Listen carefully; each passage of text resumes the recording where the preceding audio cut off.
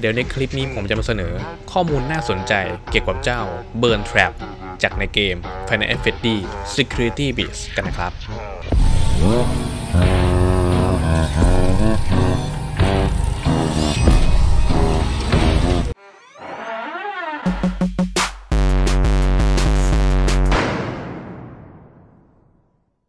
หากคุณดูคลิปนี้อยู่ คุณอาจจะเป็น 1 ใน 80%ก็ได้นะครับ เพราะฉะนั้นอย่าลืมกด subscribe ให้กับช่องต่อเม้งด้วยนะครับผม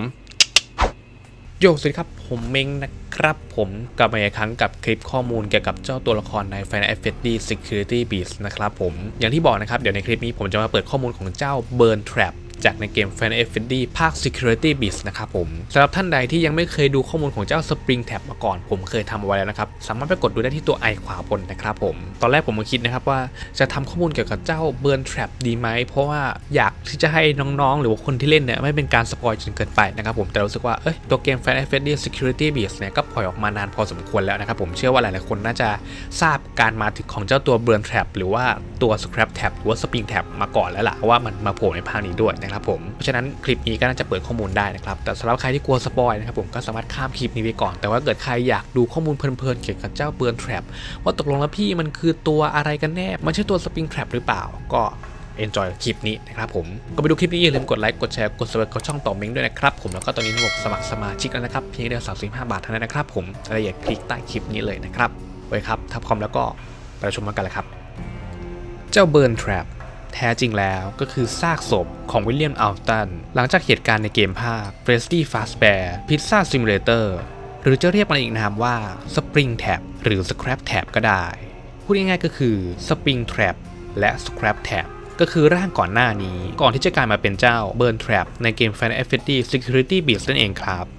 ตัวมันนั้นก็คือหุ่นอนิมาทรอนิกของ Spring Bonnie ที่ด้านในนั้นมีร่างอันเน่าเปื่อยของวิลเลียมอัลตันอยู่นั่นเองครับ รายละเอียดร่างของเจ้าเบิร์นแทรปนั้น จะดูแตกต่างจาก 2 ร่างก่อนหน้าอย่างชัดเจน ชุดสุดหุ่นที่หุ้มตัวมันนั้น จะเหลือเพียงแค่ส่วนหัวท่อนบน หูลำตัว สะโพก ต้นขาซ้าย และเท้าซ้ายเท่านั้น ส่วนอื่นๆ ที่เด่นออกมาเลยก็คือ โครงกระดูกของมนุษย์ ที่ดูเหมือนจะมีส่วนผสม ระหว่างสปริงล็อกโครงกระดูกของหุ่นแอนโด ที่ถูกพันเต็มไปด้วยเส้นเลือดและเส้นประสาทที่ถูกเผาไหม้ มือขวาของเขานั้นกลับมาหลังจากที่ขาดหายไป ในตอนที่เป็นหุ่น Scraptrap และส่วนที่ดูหลอนและน่าหดหู่ที่สุดในร่างนี้เลยก็คือ ช่วงปากของมันที่ได้หลุดหายไป เผยให้เห็นฟันกรามรูปทรงของมนุษย์แบบชัดเจน อย่างน่าสยดสยองด้านในภายในเกม Five Nights at Freddy's Security Breach นั้น เราสามารถเจอกับเจ้า Burntrap ได้ จากในฉากจบพิเศษฉากหนึ่งเท่านั้น โดยที่หลังจากตัวผู้เล่น จัดการกับเหล่าหุ่น Glamrock Animatronic ตัวอื่นจนหมด และนำชิ้นส่วนมาอัปเกรดกับเจ้า Freddy แล้ว ตัวผู้เล่นก็จะสามารถเข้าถึงอุโมงค์ลึกลับใต้ดินได้ โดยที่ภายในอุโมงค์นั้นก็ได้มีรายงานว่ามีพนักงานบางคนถูกส่งลงไปตรวจสอบที่นั่น แต่ก็ดูเหมือนกับว่าจะไม่มีใครกลับขึ้นมาเลยสักคนหนึ่ง และเพื่อเป็นการป้องกันทาง Fast Bear Entertainment จึงได้ทำการปิดพื้นที่นั้นเอาไว้ก่อนชั่วคราว ซึ่งในพื้นที่ใต้ดินนั้นก็คือร้านพิซซ่าเก่า ที่เสียหายอย่างหนักจากเหตุไฟไหม้ที่ถูกฝังเอาไว้ใต้ดิน และถูกห้างใหม่สร้างทับที่เดิมนั่นเองขณะที่ผู้เล่นเดินเข้าไปข้างใต้นั้น ตัวเฟสดีก็จะจำขึ้นมาได้ว่า ตัวเขานั้นเคยมาที่นี่มาก่อน โดยที่เป็นฝีมือของเจ้าแวนนี่ที่พาเขาและคนอื่นๆลงมา เพื่อขุดหาอะไรบางอย่าง เฟสดี้รู้สึกได้เลยว่า คนอื่นๆอยู่ที่นี่ด้วย แต่พวกเขานั้นรู้สึกโกรธอย่างมาก ตรงกลางของพวกเขาพบว่ามีกลุ่มก้อนของหุ่นแอมโทริกขนาดใหญ่จำนวนมากมานอนรวมกองกันอยู่ที่ด้านล่างของหลุม ซึ่งมันก็คือเจ้าบล็อฟนั่นเอง ก่อนที่ผู้เล่นนั้นจะเข้าไปในร้านพิซซ่าเก่าด้านในและแล้วฉากเปิดตัวสุดอลังการของเจ้าเบิร์นแทรปก็ได้เริ่มขึ้น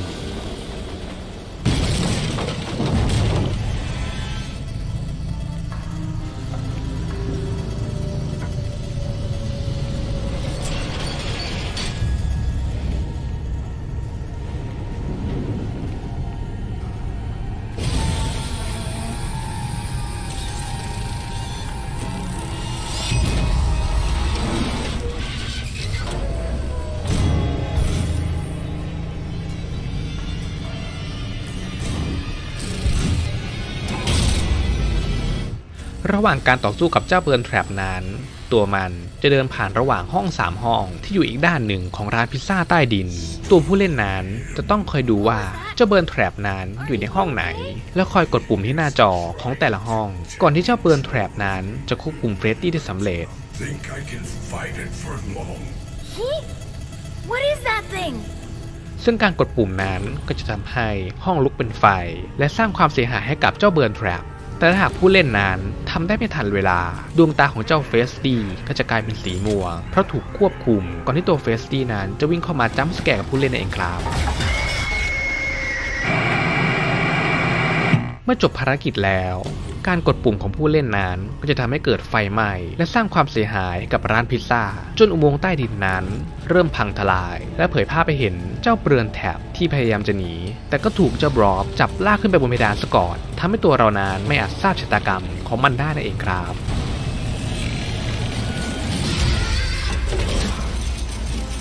แต่ถ้าหากให้ผมเดานะครับ ก็คงยังไม่ตายหรอกครับผม เพราะว่าพี่แกเนี่ยโดนไฟเผาไปตั้งกี่ภาค ก็ยังคงกลับมาได้อยู่ดี เฮ้ยอืดจริง ๆ เลย ไอ้ตาคนนี้มันยังไม่ตายคือเชื่อจริงๆนี่ขนาดยมบาลยังรั้งไว้ไม่อยู่ สรุปง่ายๆนะครับ เจ้า Burntrap มันก็คือร่างของ William Afton หลังจากที่เป็น Springtrap แล้วก็ Scraptrap นั่นเองนะครับ แล้วก็ตามมาด้วยร่างปัจจุบันนั่นก็คือเจ้า Burntrap นั่นเองนะครับ ที่โผล่มาในเกมแฟรนไชส์ Final Fantasy ภาค Security Breach หรือภาค 9 ภาคล่าสุดนั่นเองนะครับผม ส่วนตัวครั้งแรกที่ผมเห็นฉากจุดตัวนี้โผล่ออกมาเนี่ยก็รู้สึกเซอร์ไพรส์มากๆเลย ไม่คิดว่าพี่แกจะกลับมาในภาคนี้ด้วยนะครับผม แต่ก็ไม่เกินคาดเท่าไหร่นะครับ ส่วนในเรื่องของดีไซน์นั้นก็หลอนได้ใจจริงๆนะครับผม แต่ถ้าหากถามผมว่าผมชอบร่างไหนที่สุดของ William Afton เนี่ย ผมตอบตรงๆนะครับว่าผมชอบร่างเจ้า Springtrap มากกว่านะครับผม อาจจะเป็นเพราะว่ามันเป็นร่าง First Impression ที่ทำให้ผมรู้จักกับ William Afton ก็ได้นะครับผมและรู้สึกว่าร่างเจ้า Springtrap เนี่ยเป็นภาพจำผมมากกว่าร่างไหนๆเลยนะครับ ถึงแม้ว่าในภาคหลังๆเนี่ยเขาจะนำร่างมันกลับมาใหม่ แล้วก็พัฒนาให้ดูหลอนขึ้นกว่าเดิม แต่เอาจริงๆแล้วผมเชื่อว่าถ้าเกิดว่าทำโหวตแล้วเนี่ย ร่างของสปริงแท็บเนี่ยน่าจะติดอันดับต้นๆนะครับ ถึงร่างที่น่ากลัวหลอนติดตาผู้เล่นมากที่สุดคุณผู้ชมคิดเห็นอย่างไรว่าร่างไหนน่ากลัวที่สุดหรือว่าหลอนที่สุด ก็สามารถคอมเมนต์บอกผมใต้คลิปนี้ได้นะครับผม ผมรออ่านอยู่นะครับ โอเคครับผมสำหรับคลิปนี้ก็มีเท่านี้นะครับผมถ้าเกิดให้ข้อมูลข้อไหนผิดพลาดประการใดก็ต้องขอไปคุณผู้ชมในณที่นี้ด้วยนะครับ อย่างที่เคยบอกเอาไว้สำหรับข้อมูลบางทีผมอาจจะไม่เป๊ะ หรืออาจจะขาดข้อไหนไปนะครับผมถ้าเกิดคุณผู้ชมรู้อะไรเพิ่มเติมสามารถคอมเมนต์บอกผมใต้คลิปนี้ได้เลยนะครับเดี๋ยวจะมีแฟนๆเกมมาเม้นกันตอบแล้วก็พูดคุยกันได้ใต้คอมเมนต์คลิปนี้นะครับผมและสำหรับข้อมูลสั้นๆของเจ้า Burntrap ในคลิปนี้ก็มีเท่านี้นะครับผมอย่าลืมกดไลค์กดแชร์และกด subscribe ของช่องตัวเม้งด้วยนะครับสำหรับคลิปหน้าจะเป็นข้อมูลหลอนๆอะไรเกี่ยวกับในซีรีส์ Final Fantasy หรือว่าเป็นคลิปอะไรอื่นๆที่เป็นคลิปสยองขวัญอีกก็อย่าลืมติดตามที่ YouTube Channel ช่องต่อเมงนะครับสำหรับคลิปนี้ สวัสดีครับ